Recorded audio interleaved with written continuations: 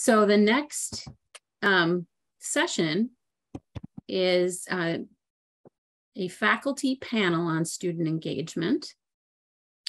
And we have a, a three of uh, esteemed faculty members, both from the from graduate education as well as undergraduate education. I'll let them introduce themselves, but uh, the three faculty are Emily Jensen, Geoff Kaufmann, and Frances Fernandez. And why don't the three of you go ahead and take it? Do you have um, the ability to share your screen if you're interested? Yep, great, perfect. We do, and I don't know that we'll need it. Okay, excellent.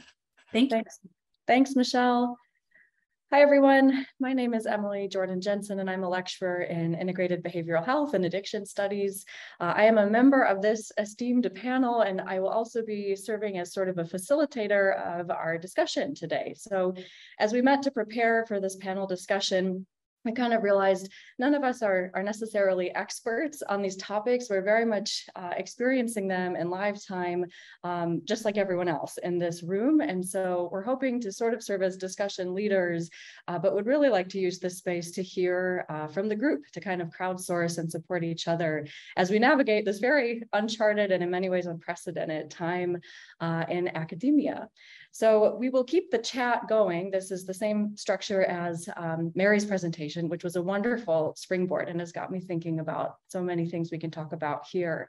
Um, so feel free to put questions in the chat as we go along. Uh, also don't feel shy about unmuting and asking a question or, or sharing an observation or an opinion as we go along. We'll certainly be eliciting those as we go through, um, sometimes more formally, but if you think of something, uh, don't hesitate to share.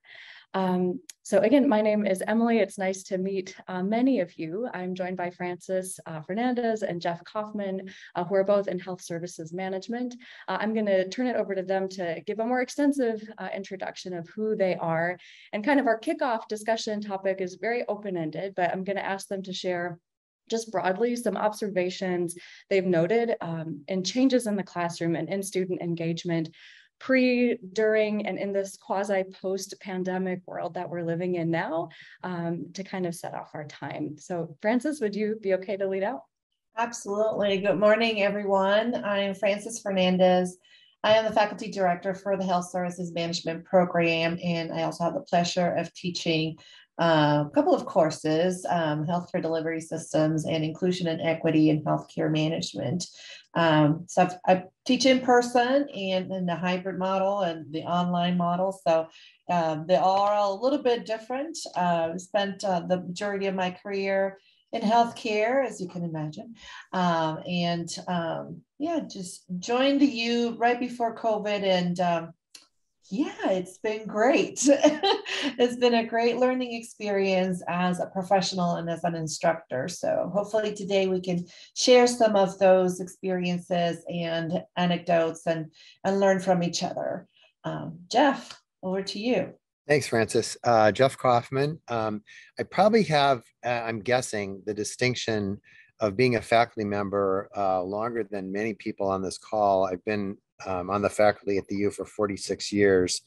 Uh, started when I was three, and uh, thank you for the laugh. Um, and I teach both in the graduate program in healthcare administration, and then also on the undergraduate HSM major, and also in the ABUS uh, uh, curriculum. And I teach um, the capstone course in HSM along with Dan McGinty. And that's a chance for uh, all the students to pull together a lot of learning over several years and uh, demonstrate that learning both in leadership and in a project that is a real live project in the in the field developing a business plan for an organization for either a new program or service or some augmented program or service and um, it's a lot of fun really enjoy it uh, i um, I, also uh, have taught in the Carlson School as adjunct, et cetera, but uh, it's, uh, it's a pleasure to be here today and really look forward to the conversation. Excellent. Good. So together we have a range of uh, perspectives and experiences, and certainly a lot of years of collective experience. I may not contribute as many as that, but that's all right. Um, we work with graduate students and undergraduate students uh, in our programs. And so I might, as a more formal question, ask the both of you uh, to reflect a little bit on what you've been observing in the last two and a half years and we're kind of in the midst of it, but is there any arc that you're starting to notice or are there trends that are starting to form? I know in my own classes, I joined the U uh, in September of 20, so right in the midst of, of this pandemic time. And sometimes I feel like each semester feels totally different. I'm not sure that there's a trend, or I think, is this just this group of students, or is this the fatigue of being this far into the pandemic, or is this just the current world events that are going on um, in this season? So I'd be curious to hear it. Do you, do you think you see any trends, or does it also feel somewhat random to you in terms of engagement?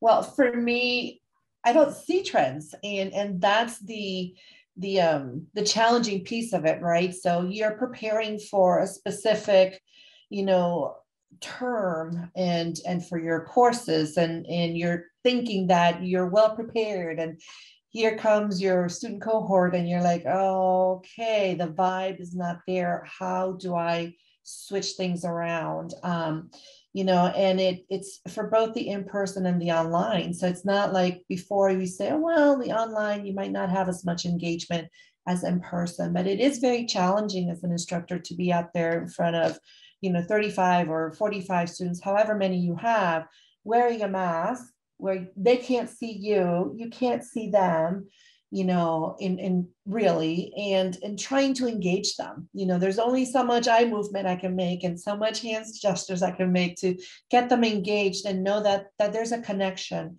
So to me, the challenging piece of it right after we started back with masks was how do I connect with the students? How do I let them know I'm here for them? You know um, with the online version i didn't have to wear my mask right? I could record videos. So i started recording more videos rather than just you know the online instruction so that they could see that human aspect in me right? I'm here for you. I'm connecting with you. Um, but for the in-person classroom that was the challenge that i had. And again it's been changing semester to semester and you're thinking well things are getting better but then there's another new challenge, right? Um, and we have such diverse students as well that it's difficult to to gauge or really prepare. So what I'm saying really is that it's okay to feel like you prepared and then you have to switch things around um, because that's really you know the name of the game. How do we evolve? How do we adapt? And how do we continue to to keep ourselves engaged so that we can then continue to engage the students? Geoff, what do you think? Yeah, the great comments. Um, I'll kind of break it into pre, during, and and I'm not even going to call it post yet because right. I just got my fourth booster this morning. um, so I would say pre was, uh, I'm going to use the term a little bit idyllic because I thoroughly enjoy being in the classroom, working with students, seeing that interaction, feeling the vibe, Frances, that you were talking about. And uh, I don't think there's any substitute for it. Um, now, when we get into the pandemic, I can just say it was messy very messy um, frances as you were talking about it and and we were kind of inventing as we were going along and i think the important thing um, that i um, tried to uh, get across to the student groups during that mess was that we're all in this mess together. And and we have to figure this out together. And what works one time may not work the next time. Um, you know we found that um, at least in one of the classes we were making um, some and we and emily we talked about this uh, in our pre-call uh, we were making some accommodations for people who literally were out of town or couldn't make it or felt so ill they couldn't be in class or be on the uh, the synchronous uh, class time. And then some students felt like oh gee you know eh, they're it, it, we're doing this for a couple of students. You know why don't we just uh, all go async i'll go synchronous here and we'll all be on screen and nobody will show up for class during the class period and that was really messy so we'd have a classroom of of half the students.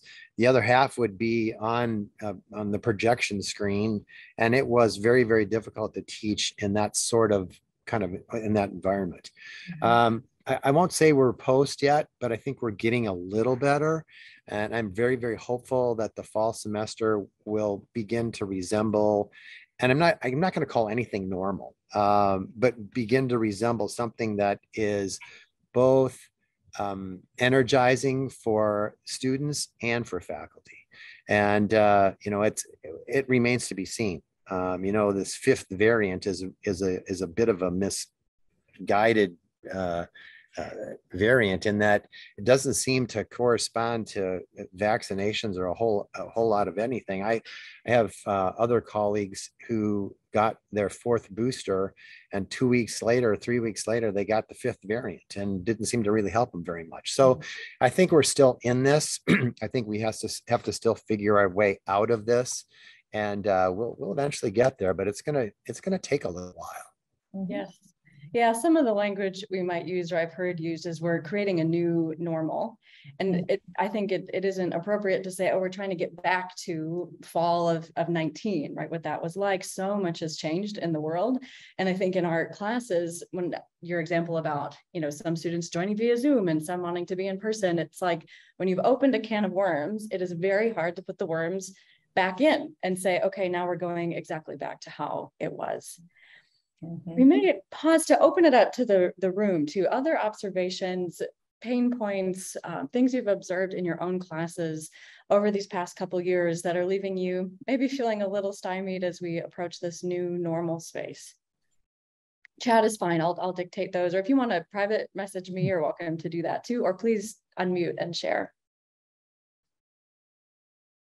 Yeah, I had the experience of offering uh, both Zoom and in person, and and trying to manage yeah what do you do when no one comes to class mm-hmm.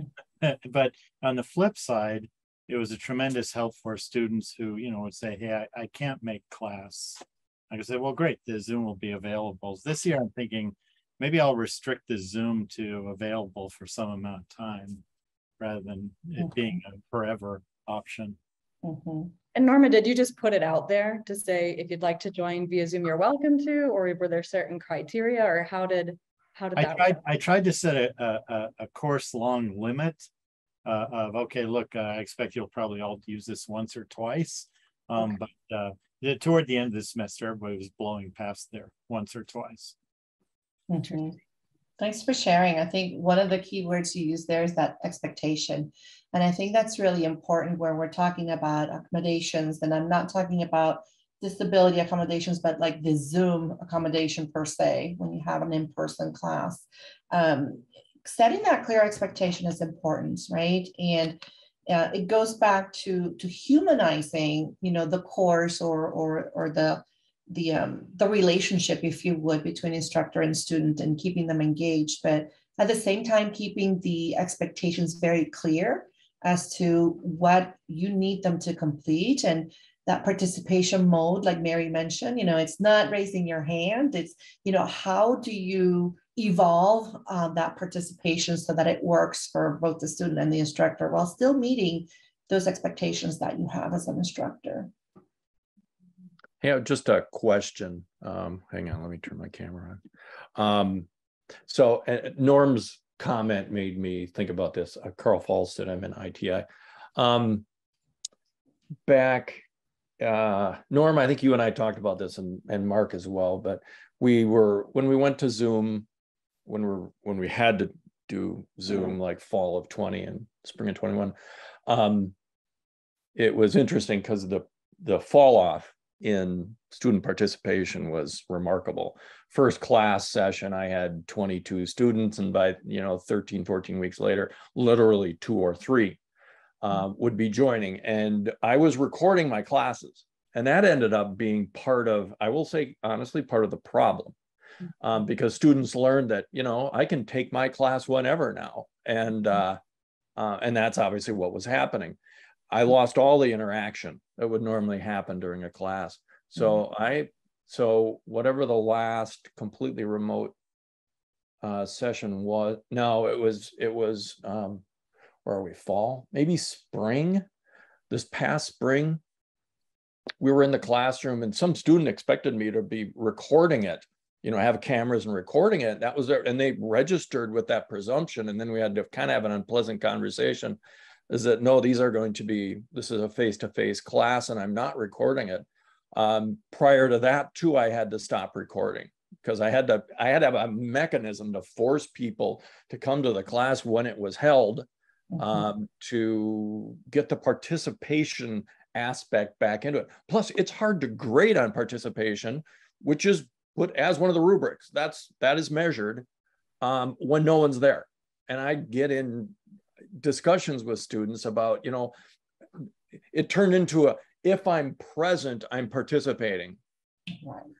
Uh, right. It's like, no, you have to be asking, engaging. But anyway, I'm probably preaching to the choir a little bit here. But I was wondering what other people's experience was with that or what your thoughts on how to.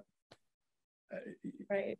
I, I felt I was bordering on inflexibility because even people with legitimate reasons that they couldn't uh, attend class, I refused to record it because the vast majority of people didn't respect that.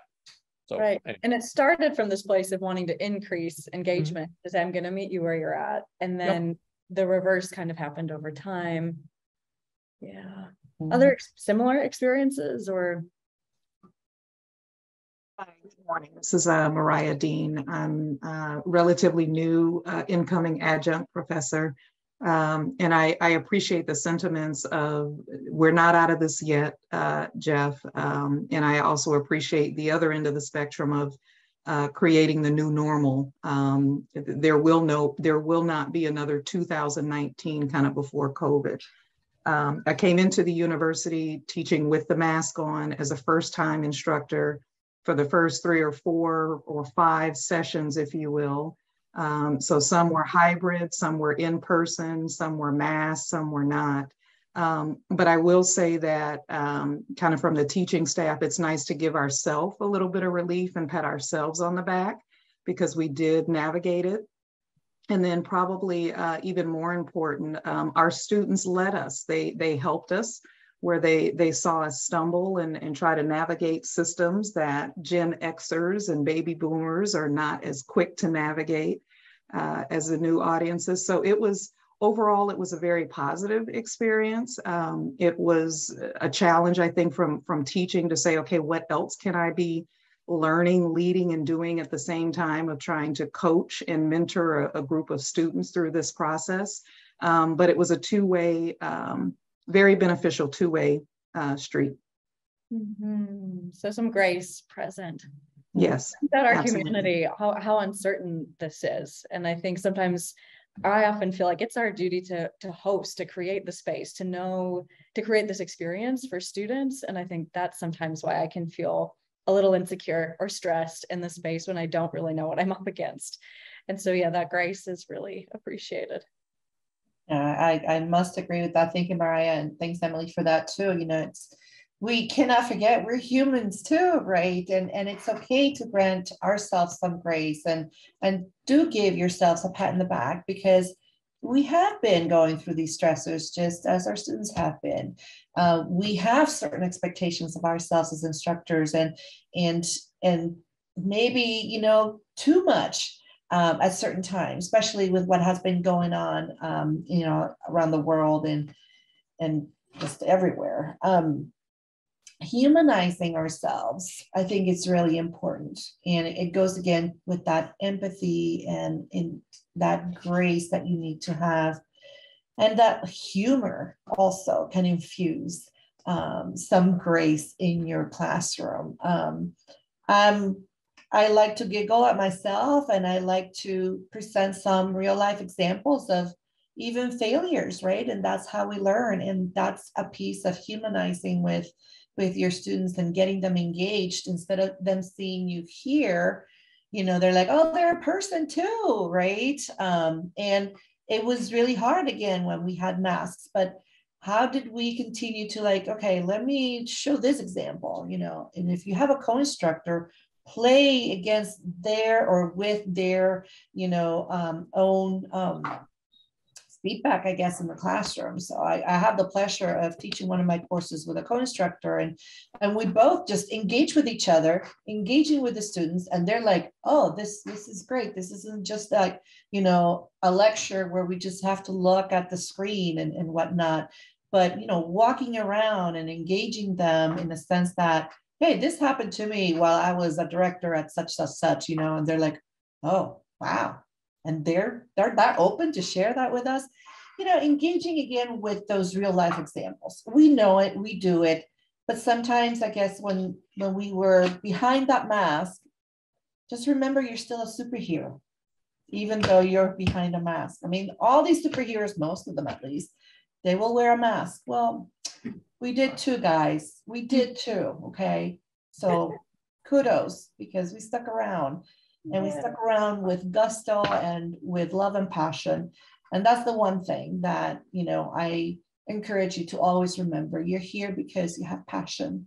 And um, yeah so that's yeah. just my little psa for today. One one of the things that i um, i picked up is a little bit of frustration in terms of student showing students showing up whether it's zoom or in person or whatever especially for these hybrid blended courses um, here's what we're going to do this fall. It might be a little draconian, but it, you might want to consider it. We're going to, as faculty in our course, uh, have only faculty cleared individuals for Zoom. So they have to approach us ahead of time saying, you know, I, I'm going to be out of town. Um, I'm really sick, whatever it is. And we have to actually give them permission. Um, we actually uh, pay a, a, second year MHA student to be our TA. So we we don't get paid for TAs uh, in in um, in HSM or ABUS, but we pay our TA and who's a second year, and he this year will keep track of attendance and a whole host of other kind of mechanical things that I, I don't really enjoy, but uh, he'll do a great job at doing all that. Um, and so, you know, coming back to this notion of participation when no one is there, uh, basically what we're saying is in the sessions and our, we're every other week in person, if you're not in person and you don't have a kind of a written uh, or approved absence from one of the faculty, your participation for that day, regardless of whether you're on Zoom or not, is zero. And it's it's not, you know, I I don't want to do it. Um, uh, but you know, unfortunately, uh, if we if we give students an inch, sometimes they'll take a foot. And they're not going to take a mile, but they might take a foot. And so we want to be clear about participation. And but Frances, to to your point, we want to do it in the spirit of you're going to get more out of the class and you're going to have a better experience and you're going to be able to interact not only with faculty but with your other fellow students and that is a much more preferred experience than um, i believe than a than a zoom and and and not having that face-to-face kind of interaction that's yeah. right that's right and and it's it's important to emphasize that with the students too, right? Um, and then with that, Geoff, uh, Emily, and the entire group, you know, how do we approach diversity and inclusion, inclusivity with the challenges that we've had, right? So we have some cultural um, differences where Zoom is like, oh, you know, or, you know, in person raising your hand when you're a certain sex or a certain culture. It's really not great. So, how do we learn from that to be more approachable, more accessible, more inclusive? Right. Um, quick comment on that, and that is um, we tried it last year and it actually worked.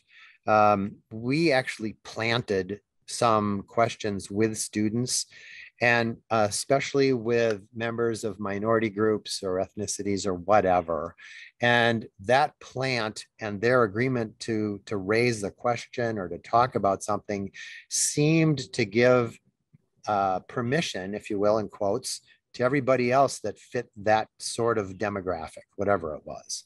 So, I mean, that's one way to think about it is to actually make it work by planting uh, some comments or questions with students and saying, hey, you know, brownie points.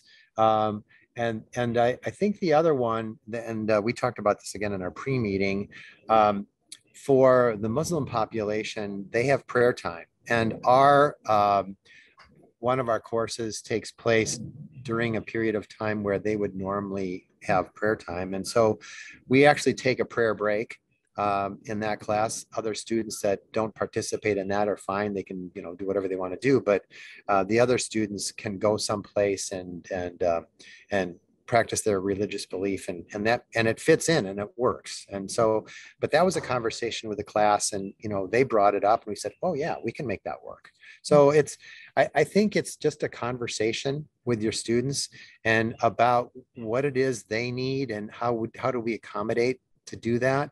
Again, this is, it's not, I don't call it the new normal, it's just new. And, um, and we'll figure it out. Mhm. Geoff, can you clarify a bit the example you were giving about like planting questions? Like, what does that look like? Are you talking to specific students ahead of time? Yes. Or Yeah, so um, we'll we'll notice that there may be a member, and I'm and I'm just I'm just throwing this out in a in a broad brush, a member of a religious group or an ethnicity or male, female, or whatever that doesn't seem to participate that much. And you, you kind of see that over time. Um, and then uh, we just have a conversation about how comfortable are you in talking in class? Is there something that we can help you with? Um, would you be willing if we sort of planted a question or had you make a comment about something, would you willing be willing to do that as a part of the class? And I would say 95% of the time they say yes, because it's this, this it's just a, the notion of giving permission when they don't understand what that permission is all about or what it means. And uh, I, especially, you know, in the, uh, the capstone group these people are all graduating seniors. And uh, and and they're going to go out in the real world um, which is you know we're preparing them for that. They're preparing themselves for that. And uh, i think they get it. Um, and uh, you know it's fun for me personally to watch somebody who has been relatively quiet in class give them that enablement to do something in class or to ask a question or to provide an example for something. And they don't really most of them don't really shrink back to the way they were prior to that interaction and uh, they become much more confident they're um, they participate more in class and i think they feel good about themselves right, and you're going to them privately too. This isn't calling Correct. out or putting someone on the spot. correct Mhm. But that individualized connection, sure. right Yeah. Can we, let's hang with this topic for a little while longer. We have had a question about some more logistical pieces and structure, and I think we could get back there, but staying more with this idea of inclusivity and engagement and recognizing that engagement isn't a one size fits all. And our students are coming to our classes from all different backgrounds, states in the life course, you know, ability, all these different, different factors. Mhm. Can we open that up to the group too? Have you seen any specific students struggling um, with different elements of online education versus in person or during the pandemic or any other kind of pain points you've been experiencing in classes?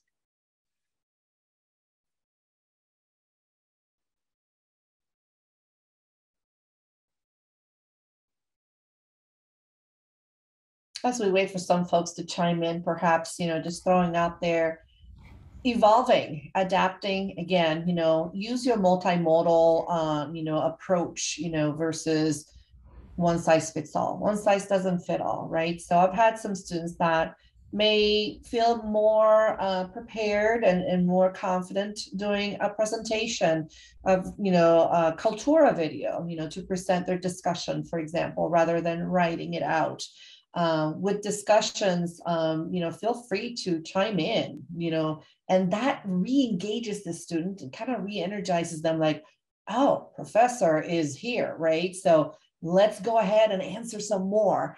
Uh, and I have experienced that versus when you don't engage in those discussions, it's just like, man, okay, I'm just doing it and, and that's all. But the multimodal, um, I started using that this past year in, in just you know, putting some Kaltura um, assignments in there, not just the first one where says introduce yourself, you know, tell us about yourself, blah, blah, but doing some of those discussions via Kaltura, really, really amazing. And I echo what Geoff was saying at the beginning of the course when you see somebody who might be a little bit more shy, and I see their progression throughout the course, and at the end, I'm just blown away by the confidence that now they have you know, we're here not just to instruct, but to mentor. And like Geoff said, prepare them for the real world.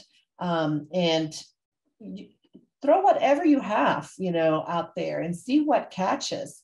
Um, and and that's the thing, you know, we cannot just you know go by okay, well this is the template, this is what I follow. Well, see what works and what doesn't. You know, feel free to experiment that way, like Geoff was saying, and throwing out you know those those uh, questions if you would, because that's how we learn to be a better mentor, a better instructor, um, and and a better engager, if you would. And you have something you want to say to us.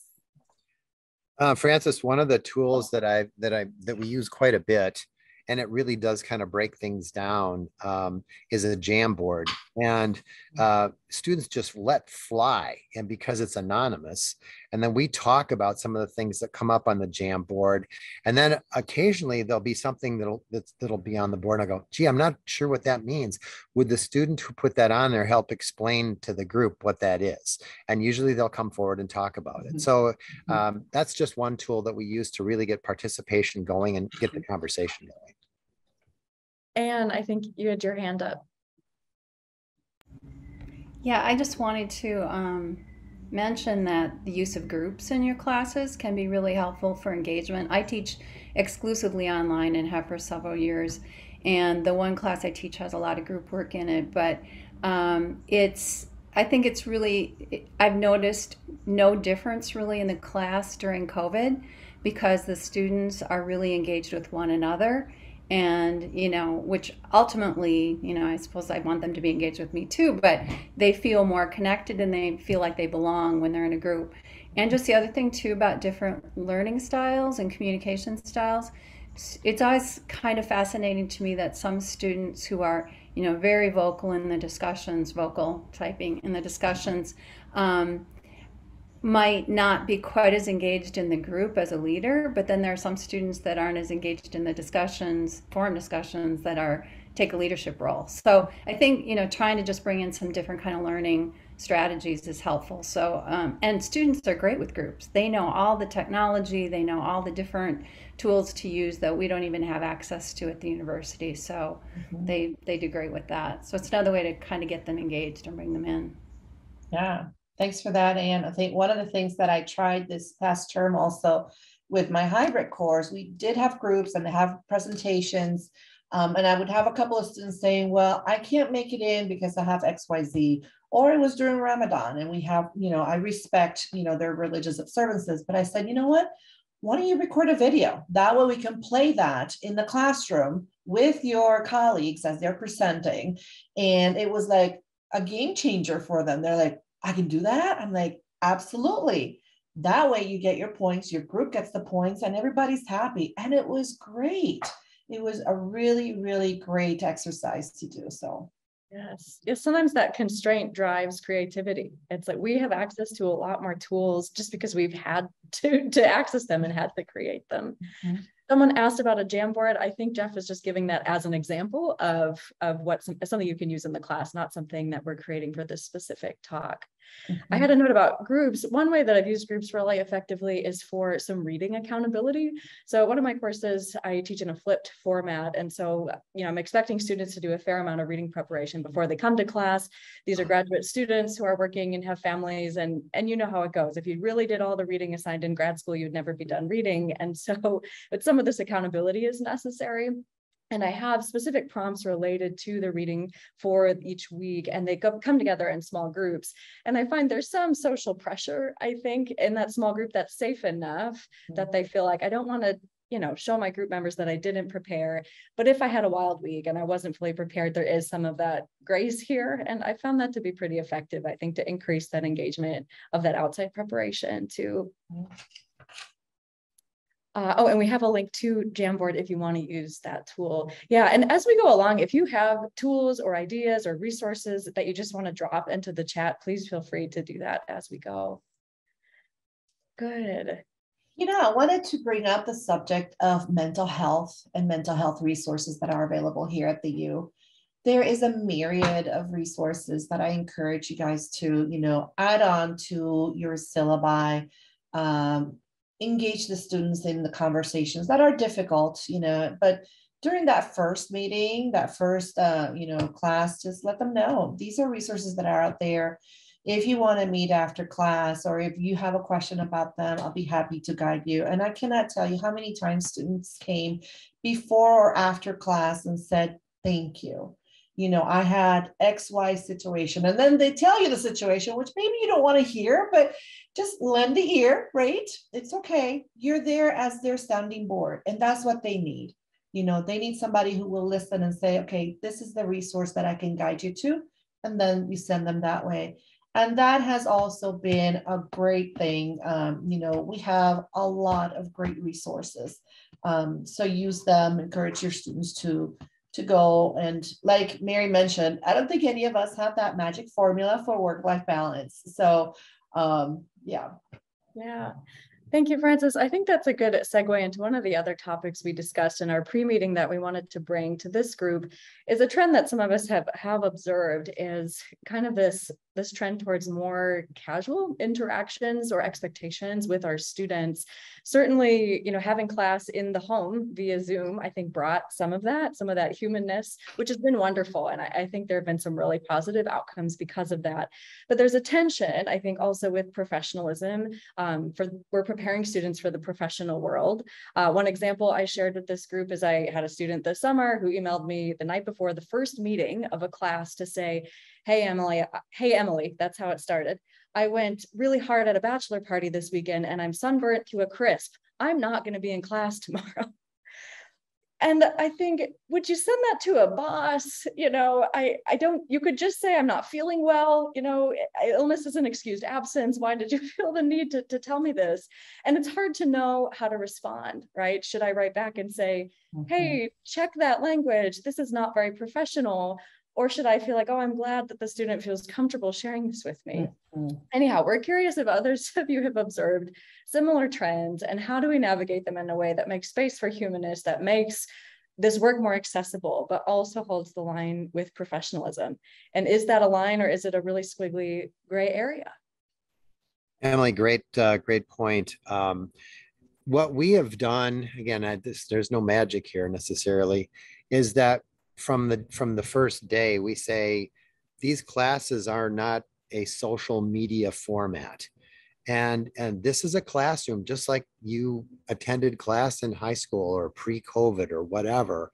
And your point about professionalism and and entering the professional world of work is a very very important one. And so um, while i'm okay with professor geoff uh, it doesn't I say, yeah, uh, Kaufmann is my dad's name, but not mine. Um, I, will go with first name. It's fine. but I do think um, we also ask students when their group is presenting um, not to show up in jeans and a t-shirt that's that has some sort of whatever on it. Mm-hmm. Um, we say look professional, and and we we continue to talk about that as a component of leadership uh, because it's uh, you know you're out there and you're in front of everybody else and people are going to take their cues from you. And so to the extent to which you want to have um, that respect in the workplace you have to provide the the milieu the you know the format for for that quasi formality um, i think the workplace is changing tremendously. It's not going to go back to what it was but there's still a hierarchy in any organization and that needs to be respected. Mm-hmm. So this is an explicit instruction you would give to students about professional attire. Correct. Yes. And I like your point in the beginning too about this isn't social media. I think more and more we're living so much of our lives in an online way. And when we bring online class into that, again, I think that line gets less less distinct than physically at home, physically at work, physically at school they may mm-hmm. have social media up on a window and their class on the next window and that code shifting you know, it may not be as as i don't know discreet. Yeah that's that's an excellent point and and it's it's a rude awakening for some students but again it's that line right? I don't think it's so much a squiggling line. I think some students might want to push it into a squiggly line but there is that line of professionalism and the mentoring that we are trying to accomplish with our students in in guiding them and preparing them again for that real world scenario right you're not going to do a presentation to the c suite with you know uh, the cafeteria background out there and oh sorry my my roommate is here you know and i've, I've had to stop some presentations and say can you go to a more quieter place? You know, because it is distracting. Um, it's not professional, and you know, oh, I'm sorry, professor. And but again, these are things you tell them ahead of time, right? But it's like, okay, let's go back. Um, but there is a sense of extra familiar familiarity. I'm sorry, I can't say the word very well, but um, yeah, that sometimes you need to kind of push back a little bit. And I think the the the social media um, aspect of it, Geoff, like you mentioned, has kind of like opened that door, and it's up to us to kind of say, no, it's it's not a swinging door. Right now, you're at the university, and this is the expectation. Uh, it may sound harsh, but it's not really. It's really preparing them to be better citizens of tomorrow. Right. Yeah. Michelle says in the chat that laying these expectations explicitly in the beginning is probably a really good idea. Mm-hmm. And I that's one observation I've had in my my learning curve here at the U is I I think I was relying on a lot of assumptions about mm-hmm. what mm. I thought students, graduate students, how they would comport themselves, maybe based on how I did or my colleagues did when I was in grad school not so long ago. Right. And I think things have shifted. And I found that having to be more explicit in my syllabus and on the first day of class has helped with a lot of this culture stuff that I was just relying on some assumptions for. From the room, have others noticed trends this way, some more casual language or what we might call lack of professionalism in your courses?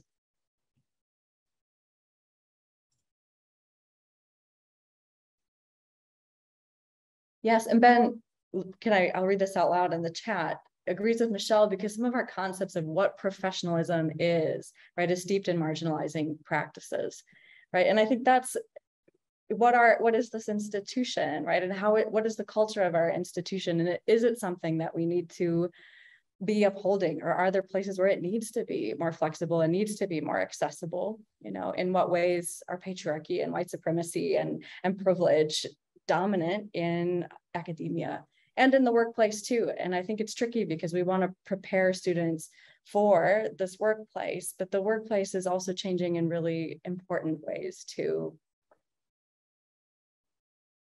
And that's a big one, I guess. But any observations like this or thoughts about how we navigate this gray space?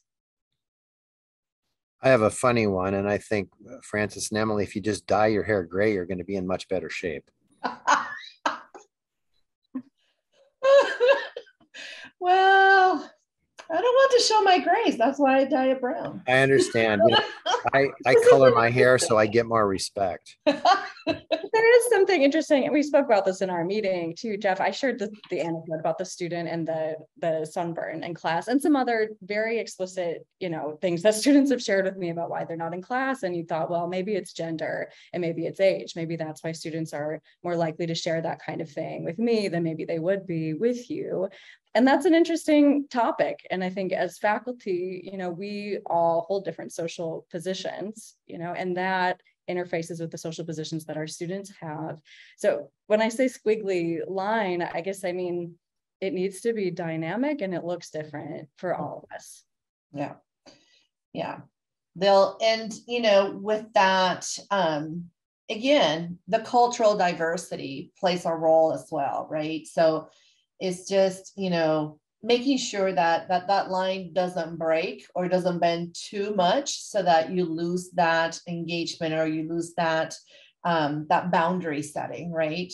Um, and it's hard especially when you don't understand where that expectation of that boundary should be for that particular student or student group right? Um, and it's something like we continue to learn about and continue to evolve. And with that, you know, every semester, every term for me is a little bit different. We talked about it at the beginning of, of the session.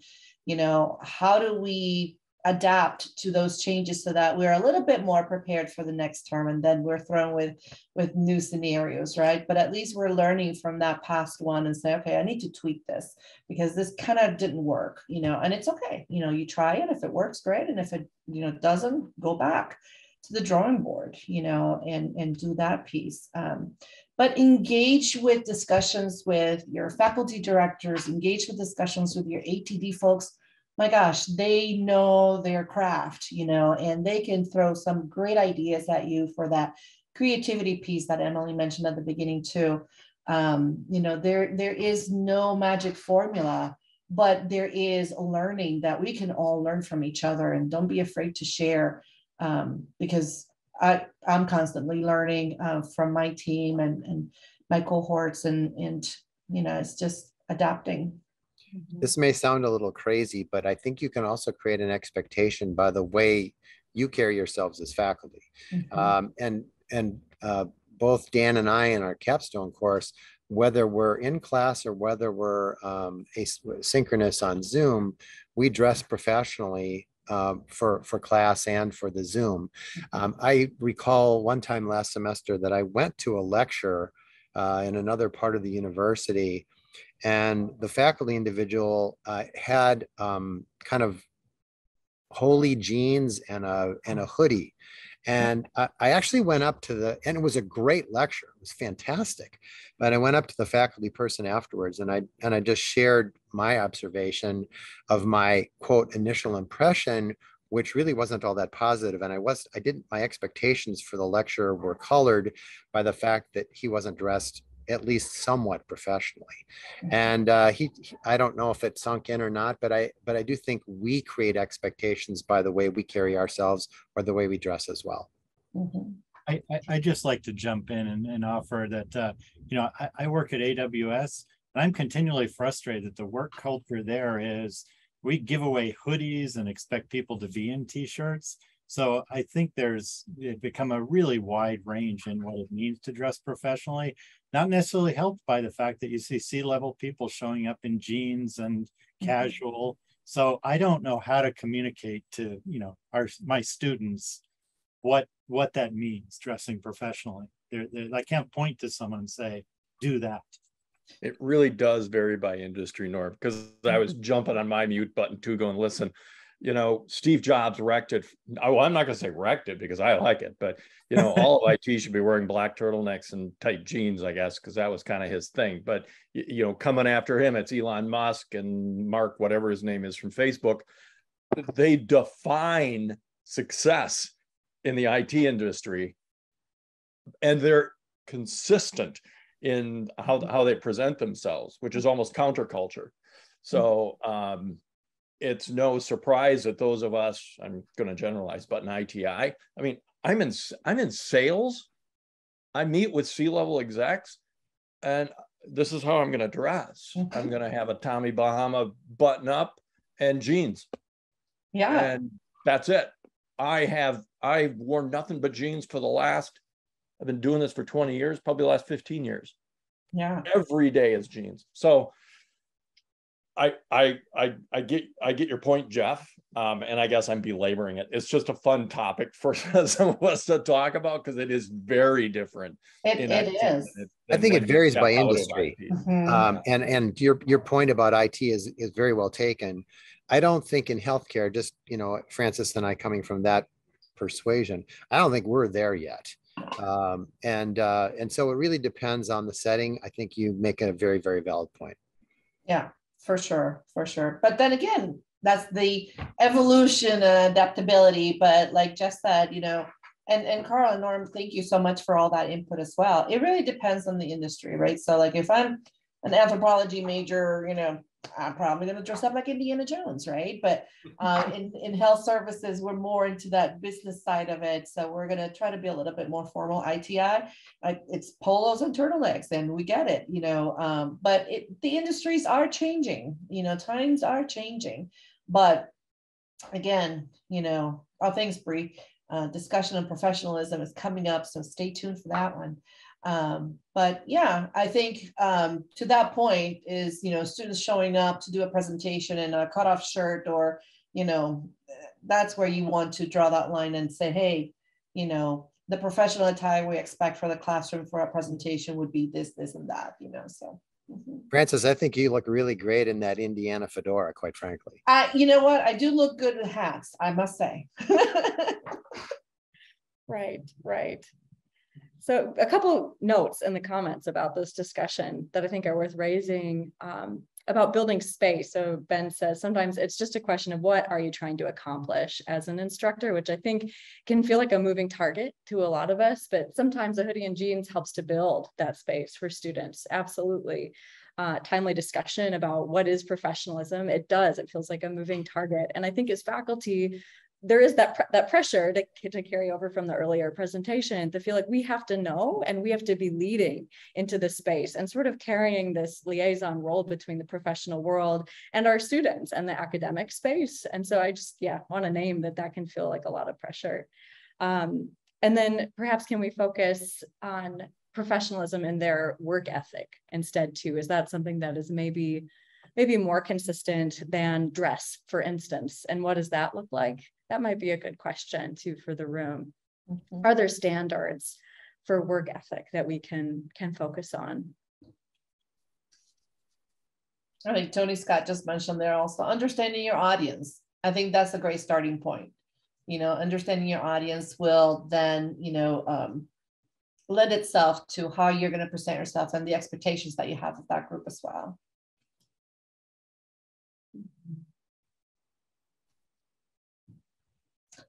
And thank you. Excellent point. Gender and ethnicity matters in this discussion. Absolutely. Um, and I think we would need an extra hour to talk about that. Uh, but indeed, um, you know, and, and I'll, call it out as, as a female minority, um, it, it has been hard to be in the workplace and it has been hard to portray, you know, the confidence needed for the next leaders of tomorrow to say, you can do this, you can effect change.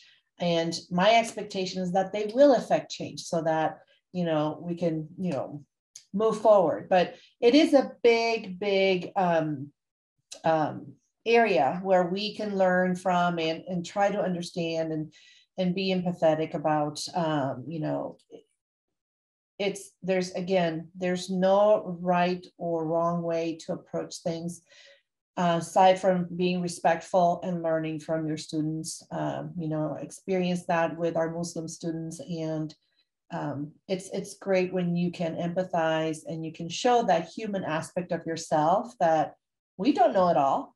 Uh, and we're learning from them. And, and I would say, you know, please, you know, if I'm mispronouncing your name or mispronouncing your holiday, please correct me, you know, blah, blah.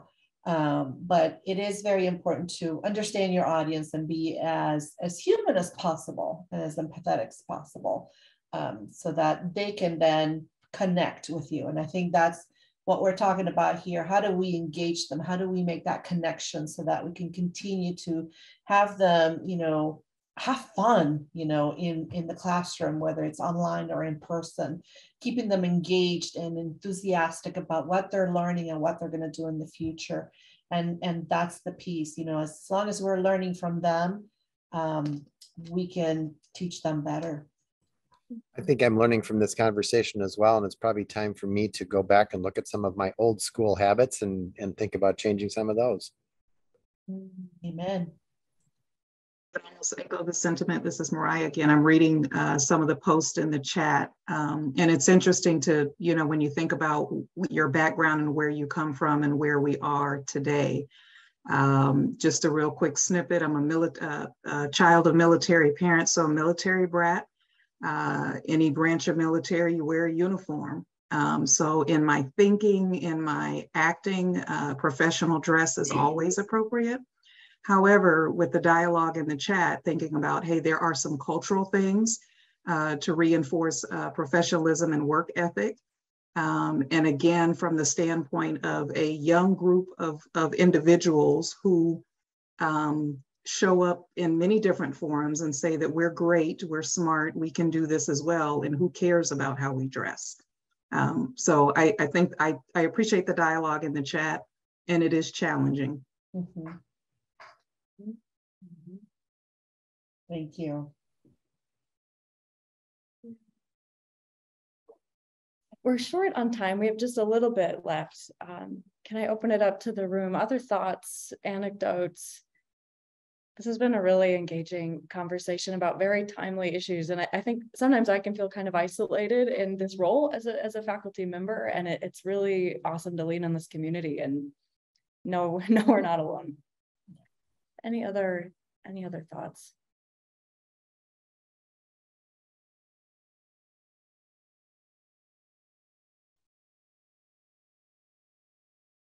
Wonderful.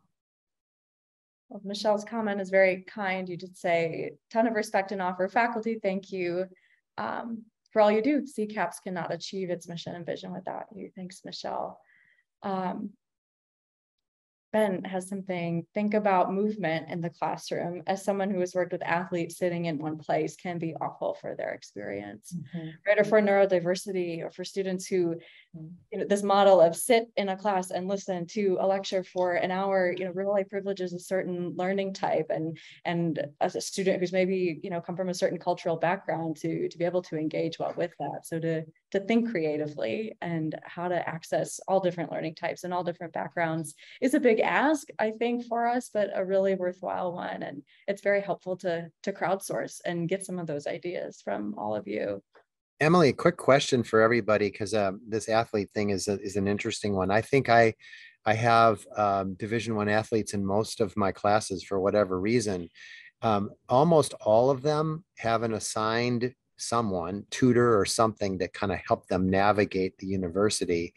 And some of the sports are the sports first and school is 2nd mm-hmm. And some of the sports are school is first and sports are second, just depending upon, you know, is it football, basketball, hockey, or is it some other sport that that isn't a huge revenue generator for the university?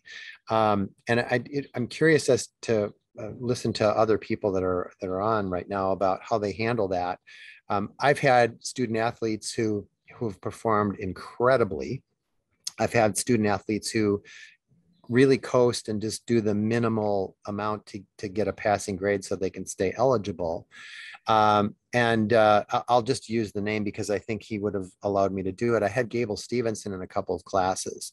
Uh, Gable being the big Olympic heavyweight wrestling champion and just a really wonderful human being um, and uh, and he and i have had a numbers of conversations where he's fallen behind and i say hey gable come on pick it up you can do this and um, and we have those conversations and and he comes through because for him um, I think he's mature enough to understand that this athletic career is going to be a fleeting one. Um, you know, at, at best, he might maybe have five to 10 years doing whatever he's going to do after college sports. And, uh, and he wants, he wants a major that he can take into something after all of that. But I'm curious as to what others feel about having student athletes in their class and how that works. Think one of the things that I want to say, not just for student athletes, but as we wrap up, um, you know, with with time, is um, provide feedback. I think that's the one thing to continue the engagement of your students. Um, you know, whether they're doing a great job or whether they need some help. You know, um, make sure that when you're grading those assignments, you are providing some sort of feedback, especially with the online um, courses they don't see you um, they want to feel that connection and that engagement uh, piece. So that's really really important. So um, that goes along with what geoff is asking what ben put up on the on the chat um, as well. Um, and that i think is one of the better things you know whether it's verbal in person or online make sure that you're doing that we are about out of time and i don't know I, I don't know if we would have space to revisit these kinds of conversations but it may be nice to have them more frequently just as we navigate all the change that's happening. I think it can feel like it gets away from us a little bit and, and i certainly feel more i don't know inspired and and prepared going into fall after this conversation. So maybe if we can do this again another time soon that would be wonderful Thank you, Emily, Frances, and Geoff. Really appreciate you leading this discussion.